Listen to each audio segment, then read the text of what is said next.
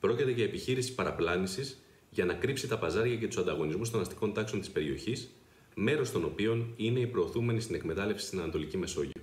Ο λαός μας πρέπει να είναι σε ετοιμότητα, να εντείνει την πάλη του για απεμπλοκή της χώρας μας από τους υπεριαλιστικούς σχεδιασμούς